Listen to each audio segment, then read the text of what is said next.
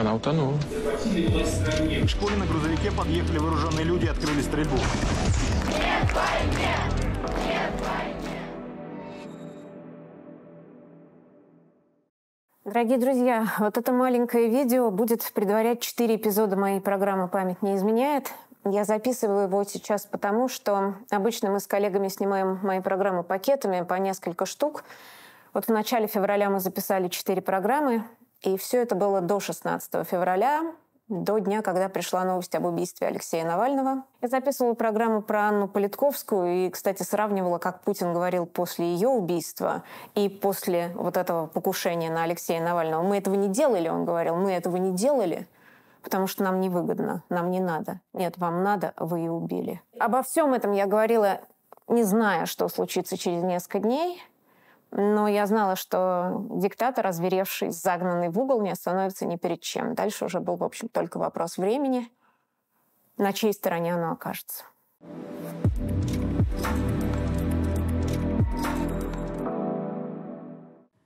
Всем привет, дорогие друзья! Меня зовут Анна Немзер. Это программа «Память не изменяет», совместный проект «Дождя» и архивы российских независимых медиа.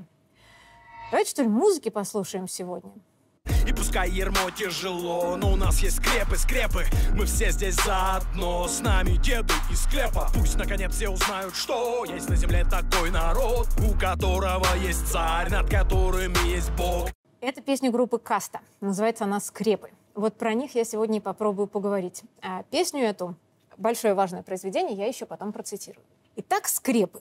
Если вбить в поиске на сайте архива российских независимых медиа слово «скрепы» и задать поиск не с последних упоминаний, а с самых ранних, то одно из первых выдачи ты получаешь статью Александра Привалова 2004 года, точнее, пересказ этой статьи с большими прямыми цитатами на сайте Центра «Сова». Статья называется «О дележке». И там речь идет про кризис либерализма. Это очень характерно. Это точно не первое употребление слова «скрепы» в медийном пространстве новейшей российской истории, но я начну с него, потому что оно мне кажется важным.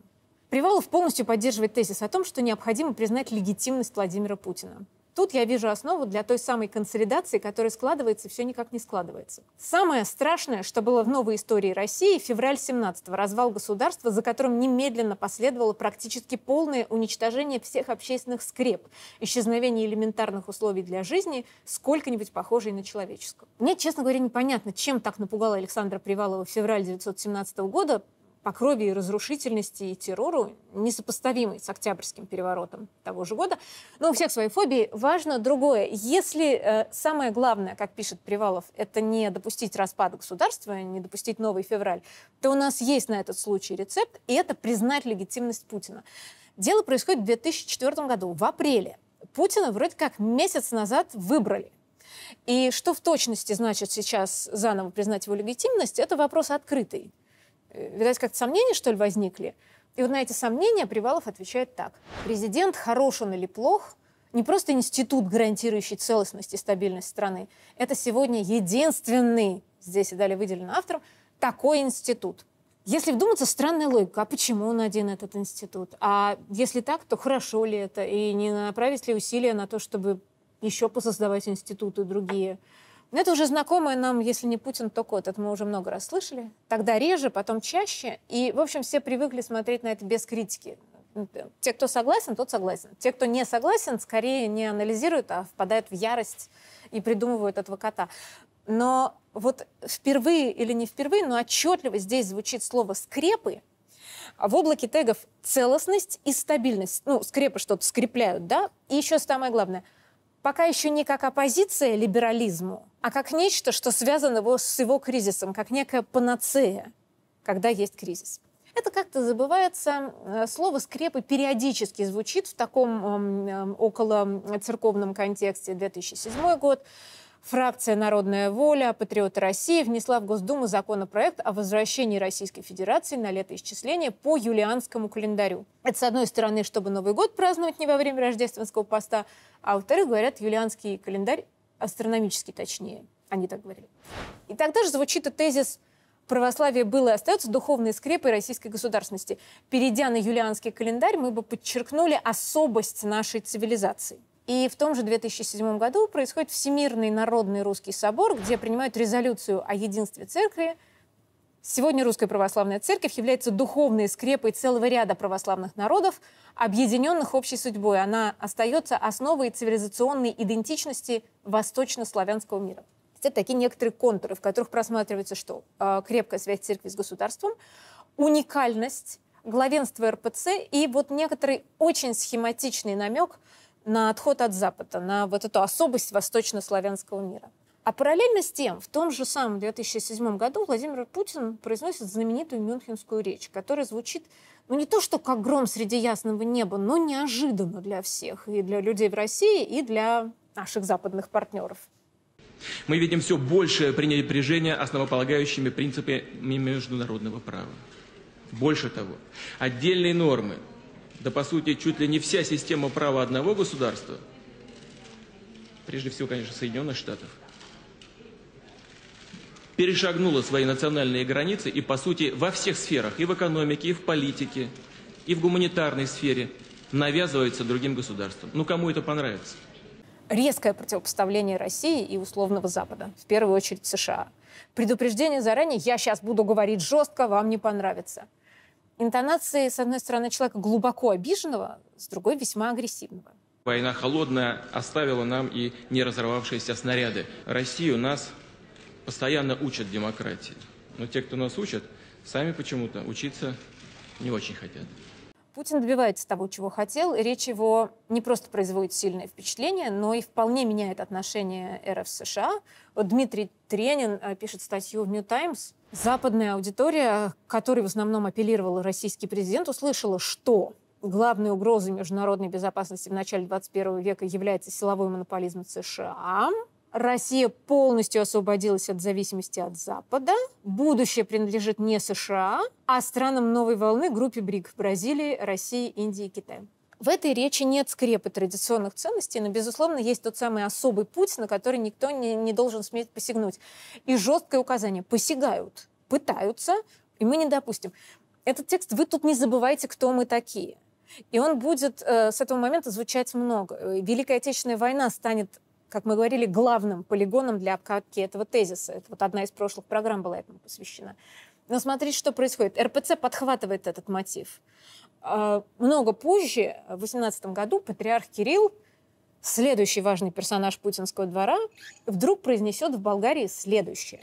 Еще раз вам хочу сказать очень ясно, что Русск... Болгарию освободила Россия. Искам ясно да ви кажа, че България била освободена Ни Польша, ни Литва, нету Польши, ни другие страны, Россия.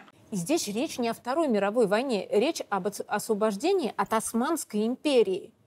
Но вот ровно по той же логике, которую я пробовала описать в программе про парад 2005 года, неважно, какая война, мы все на той одной единственной Троянской. Главное, что Россия победила, Россия освободила, и самое главное, что про это забыли.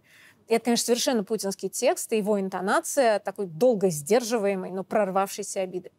Теперь сравните. Это интервью патриарха Кирилла в январе этого года под Рождество за буквально два месяца до двухлетней годовщины начала полномасштабной войны в Украине, развязанной с его благословения. И это про церковь. Она стала опором православия во всем мире. Церковь наша не просто играет какую-то культурную роль и находится за полями общественной жизни, там на периферии обслуживая пенсионеров. Она в центре жизни людей.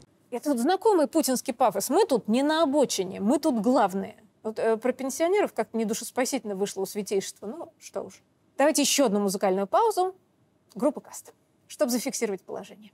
Мы хотим плохих дорог, мы хотим, чтоб нас гнули в рог Мы хотим жить не впрок, а в долг, только чтоб задать урок Нашим заклятым врагам Вот здесь мы переходим к патриарху Кириллу. Я не буду пересказывать биографию этого человека, включающую в себя крепкое сотрудничество с Комитетом госбезопасности, подробные расследования про него, про бизнес-корпорацию РПЦ, про его яхты и резиденции. Очень подробно писали коллеги-расследователи, я дам все ссылки. Связь Российской Православной Церкви с армией дошла до совершенно сюрреалистического уровня. В 2013 году для укрепления боевого духа в воздушно-десантных войсках России начали тестировать православный храм на колесах. На форуме «Армия» в 2020 году показывали камуфляжные рясы для священников и войсковые свечи цвета хаки. Православные священники освещают ракеты и автоматы – брызгают святой водой мобилизованных. В зоне боевых действий крестят российских солдат в мешках для перевозки трупов. Ну и, конечно, бригет. Конечно, помните часы бригет, которые у него сначала были на руке, а потом их на фото закрасили в фотошопе, но не уследили, что они отражаются на поверхности стола. Ну, вот это все. Я хочу поговорить про слова. В 2000 году он, тогда еще митрополит до патриаршества еще 9 лет, публикует статью в независимой газете. Слова «скрепы» там нет, но есть традиционные ценности. И жесткое противопоставление их ценностям либеральным. Фундаментальное противоречие нашей эпохи и одновременно главный вызов человеческому сообществу в 21 веке – это противостояние либеральных цивилизационных стандартов с одной стороны и ценностей национальной культурно-религиозной идентичности с другой. Вот тогда кажется, что этот текст в светских кругах проходит относительно незамеченным. И вот где-то к середине нулевых 2005-2007, этот мотив начинает нарастать. Вот Привалов в 2004 году мы с него начинали, в некотором смысле повторяет митрополита, только с двумя поправками. Со словом «скрепы» как таковым и с железным выводом, что никто, кроме Путина, их нам не обеспечит. В 2007 году Андрей Колесников пишет об этом в издании New Times. Госкорпорация «Роснравственность» путинской России, заходящей на третий срок, понадобятся идеологические скрепы. Русская православная церковь в последние годы неумолимо сближающаяся с государством, претендующая на лавры госкорпорации «Российская нравственность», не в первый раз выдвигает тезис ущербности универсальной концепции прав человека. Декларация о правах человека, принятая Всемирным русским народным собором, говорит о том, что есть ценности, которые стоят не ниже прав человека. Знаете, я вот это сейчас говорю, эти скрепы, эти ценности прозвучали уже очень много раз. И возникает закономерный вопрос, а что есть эти ценности, из чего они состоят? Так вот я не знаю.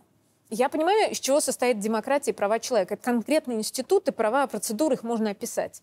Я хорошо понимаю, что стоит за словом диктатуры и репрессии. Мне хотелось бы понять, например, является ли милосердие, стержень, на котором строится христианство, вот этой самой ценностью. Но скорее описание этих ценностей строится на ощущении, ну мы же с вами понимаем, особый путь и особенная стать. Я еще могу в эту топку подкинуть. Тот же митрополит Кирилл на том же соборе произносит – Радует, что в последнее время в нашем обществе появились многие серьезные попытки осмыслить самобытность России через призму ее духовно-исторической традиции. К их числу можно отнести идеи суверенной демократии, реального суверенитета русского проекта переосмысления понятия империи. Но что есть этот русский проект?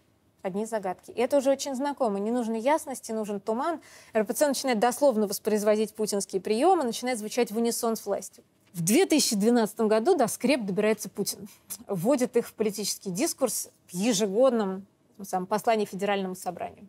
Знаете, уважаемые коллеги, мне больно сегодня об этом говорить, но сказать я об этом обязан. Сегодня российское общество испытывает явный дефицит духовных скреп. Дефицит того, что всегда, во все времена исторические делало нас крепче, сильнее, чем мы всегда гордились. Мы должны всецело поддержать институты, которые являются носителями традиционных ценностей. Эти скрепы, я помню, тогда производят комическое впечатление. Лингвисты начинают искать, откуда он это взял. Довольно быстро докапываются до философа Ильина, э, которого Путин уже к тому моменту там густо цитировал. Нашли, правда, еще скрепы в тексте Александра Калантай «Дорога к крылатому Эросу». Она там дает наставление молодым пролетариям, как любить друг друга. И действительно употребляет термин «духовно-душевные скрепы». Но Путин явно не будет цитировать апологет мировой революции. Исследовательница Ирина Левентина, проведя эту же работу по раскопкам скреп в путинской голове пишет. Но вот когда про духовные скрепы вещают те же уста, что приглашали отовариться дубинкой по голове, призывали не жевать сопли, да-да, обещали мочить в сортире, да чего там все все помнят, это немного того, стилистический диссонанс. В этот момент это еще не очень серьезно. Скрепы эти выглядят достаточно идиотски, чтобы обращать внимание именно на, на стилистику. Но проблема в том, что то, что произносит уста, оказывается непосредственно связано с тем, что делает обладатель уст. Снова цитирую январское интервью патриарха, вернее, даже интересен здесь вопрос хорошо подготовившегося интервьюера. В этом году мы уже можем сказать, что традиционные ценности стали частью института права.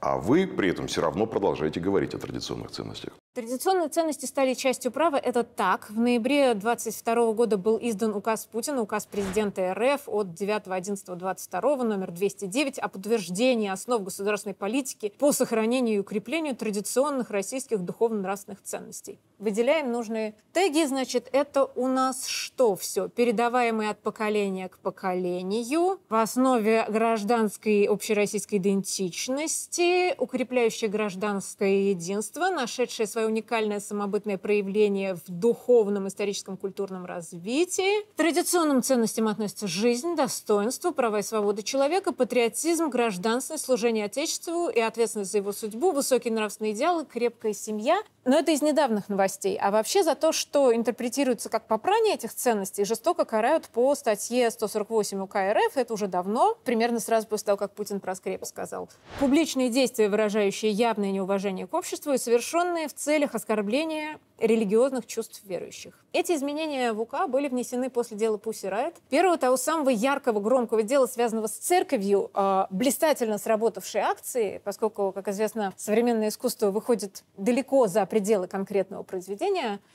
«Богородицу Путина прогони» участницы спели, да? Строго говоря, этот текст столбил одно простое положение. Путин с Богородицей не заодно, они не работают в одном ведомстве, и он не выше ее по званию. И вот ровно этого нельзя было простить. Участниц Pussy Riot тогда сажали даже без статьи УК, ее срочно подкрутили позже. Но есть еще один важный момент, и я опять возвращаюсь к этому самому январскому интервью патриарха, вернее, к вопросу, который так симптоматичен. Я прекрасно помню, как еще раньше, тогда, 15 а, лет назад, вы уже тогда говорили о традиционных ценностях. В тот момент, когда многие политики еще так показательно морщились, дескать, какие традиционные ценности, если для народного благополучия, для благополучия государства у нас есть институт прав человека, у нас есть демократия, этого достаточно. Вы говорили уже тогда. Я вот все думала, что это мне напоминает, я поняла. Это вот ровно тот же самый прием, который использовался много лет прогрессивной общественностью, когда она пыталась оценить собственные ошибки из 90-х. И тогда говорили как? Мы думали, что рынок вывезет, что не нужна люстрация, и что не нужно никакой работы с идеологией. Вообще а, от мысли, что нужно что-то делать с идеологией, у людей, живших в СССР, начиналась крапивница. И это была наша ошибка. Так вот здесь э, при помощи ловкой подмены используется тот же самый прием. Мы думали, что демократии и прав человека хватит, но нет. Нужны скрепы.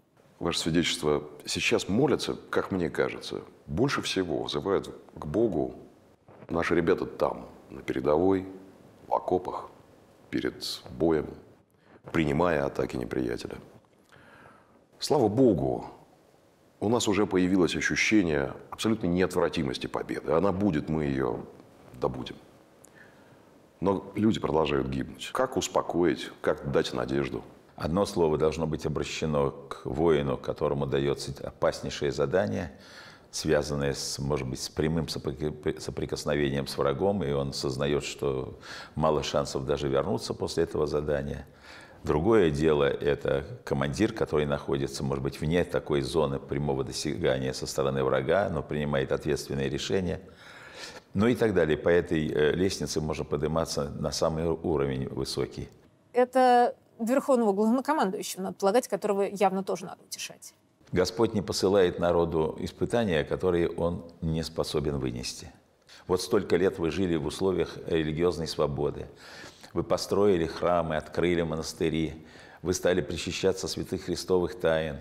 Э, священники работают в вооруженных силах.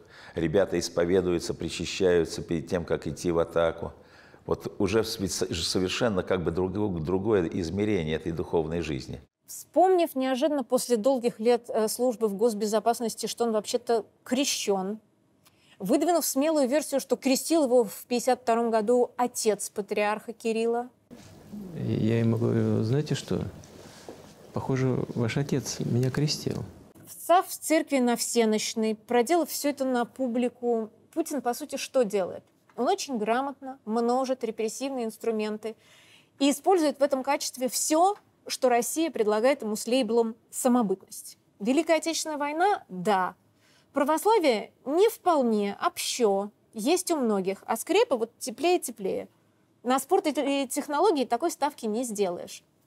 Таким образом, весь этот скрепный Франкенштейн, состоящий то из крепкого брака, то из жизни, жизнь тоже ценность, на самом деле выполняет несколько очень определенных функций. Первое. Вытесняет слово «демократия» из политической риторики и идею демократии из общественного сознания, подсовывает вместо нее какие-то пустозвучные суррогаты. Второе. Становится еще один, одним э, репрессивным инструментом много ни мало становится, уж простите меня, идеологической подстилкой для противоправных решений. Ну вот Конституцию переписать можно, ну нехорошо. А если сам Бог велел? Четвертое, самое главное, уничтожает логику, в том числе логику христианства, призывающего к милосердию и ненасилию. И просто логику. Врет и подменяет понятия. Например, говоря, что на войну люди идут умирать, и элегантно умалчивая о том, что они идут и убивать тоже. И таким образом становится еще одним инструментом легитимизации войны. Когда мы говорим «мы русские, с нами Бог», мне кажется, что лучшим доказательством является это огромное количество народа, которые сейчас, если не на войне, то точно помогают нашим воинам, чем только могут. Посмотрите, волонтеры, мы даже не представляли, какое огромное количество этих замечательных людей да. а, в нашей стране. Вот это, это и есть Бог, я прав?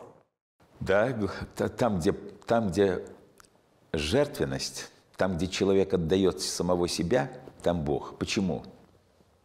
А потому что физическая природа человека во имя самосохранения предполагает динамику к себе, а не от себя.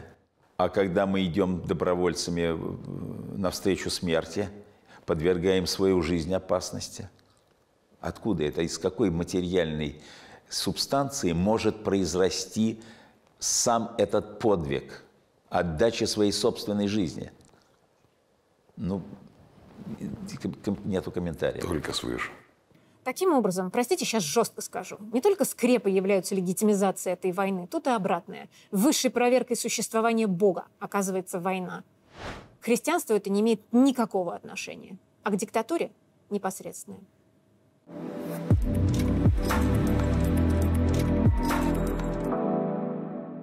Дорогие друзья, это была программа «Память не изменяет», которую я делаю на телеканале «Дождь» вместе с проектом «Рима», архивом российских независимых медиа. Все ссылки к этой программе, дополнительные материалы и бэкстейдж ищите в телеграм-канале нашего архива. Он называется «Свобода снова». Счастливо, увидимся через неделю. Оставайтесь на «Дожде».